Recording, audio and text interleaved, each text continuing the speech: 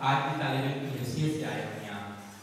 میرے اس وقت جو ہیں یوٹیوب پر کوئی تین کروڑ سے زیادہ لوگ لیکچر سن چکے ہیں اور علم کے ہر موضوع پر لیکچر ہیں۔ میرے یعنی علامہ اقبال کی شاعری کو جیسے کرنل نیگر صاحب نے فرمایا اکثر قرآن میں بیان کی۔ علامہ اقبال کی شاعری کو انگلش میں ٹرانسلیٹ کیا ہے۔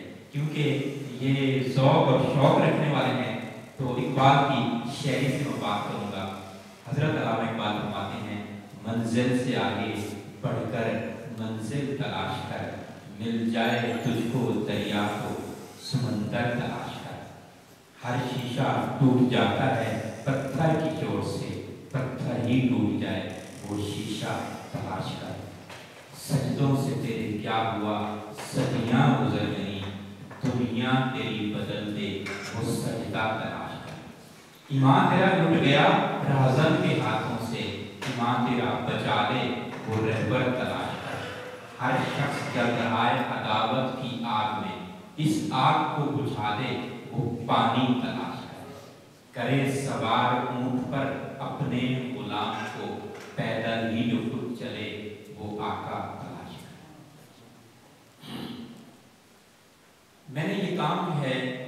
ابھی کرم صاحب فرما رہے تھے کہ آپ کو کیسے ہے۔ میں پچھلے سترہ سال سے حکمت کر رہا ہوں اور کوالیفائڈ حکیم ہوں اور مجھے اللہ نے حضرت مولائی فرماتے ہیں جب اللہ کسی سے بھلائی کا ارادہ کرتا ہے تو اسے دین کی سمجھ دیتا ہے اور حضور صلی اللہ علیہ وسلم نے فرمایا میں جو اللہ ہو بے خیر جو فق کے ہو بے دین جب اللہ کسی سے بھلائی کا ارادہ کرتا ہے تو اسے دین کی سمجھ دیتا ہے تو میں نے سوا تین ساڑھے تین سال پہلے آغاز کیا اور پوری دنیا میں لاکھوں کی تعداد میں میرے فالوورز ہیں جو روزانہ جو ہے سو رہے ہوتے ہیں اور آگے کام اٹھایا گیا ایک نیا میسج دیا ہوتا ہے۔ میرے لیے پیسہ کی کوئی اہمیت نہیں۔ میں بہت سارے اداروں میں جاتا ہوں اور لوگ مجھے پے بھی کرتے ہیں، لیکن میں اس کا معاوضہ نہیں لیتا ہوں۔ میرے لیے علامہ اقبال نے فرمایا تھا یعنی جب علامہ اقبال بحثیت وکیل۔ آج وکیل اور انسان میں بڑا فرق ہے۔ وہ بحثیت وکیل کو کہتے ہیں کہ ساڑھے چار سو روپے میرے پاس آ جاتے نا تو میں اور کوئی کیس نہ لیتا۔ میں تیاری کرتا اپنی جو انہوں نے کتابیں لکھی ہیں، فارسی میں لکھی ہیں، اردو میں لکھی ہیں۔ علامہ اقبال نے فرمایا تھا، یہ مال و دولت دنیا، یہ رشتہ و پیمن تبانے بہم و گما، لا الہ الا اللہ۔ The worldly wealth and riches too ties of blood and friends are dream the idols road by doubts. Untrue are safeguards oneness empty sea علامہ اقبال نے اس شعری رب جو ہے اس آیت کے ساتھ منسوخ کیا ہے۔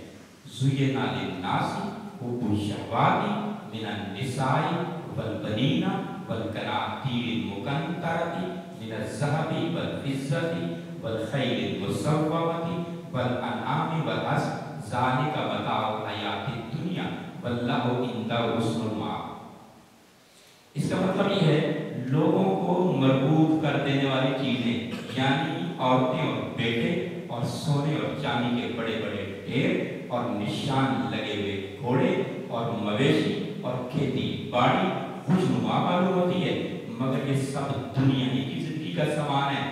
اللہ کے ہاں تو اس سے بہت اچھا ٹھکانا ہے۔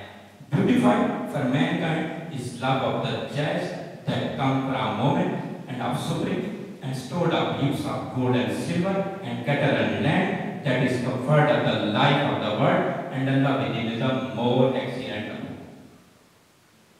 تو سب سے پہلی جو بات ہے نا آپ یہاں تشریف فرمائے نا تو آپ کس کی عدد چاہیے دنیا کی سب سے بڑی نعمت وہ ہے آپ کی صحت اور اسی سے جتنے میرے لیکچرز تھے لیکن سب سے زیادہ جو میرے لوگوں نے لیکچرز دیکھے وہ تھے وہ ہیں یوٹیوب پر طب نبی صلی اللہ علیہ وسلم یعنی میں نے بتایا، قرآن سے علاج بتایا طب نبی صلی اللہ علیہ وسلم سے بتایا۔ اسی طرح روحانیت پر بھی میرے لیکچرز ہیں۔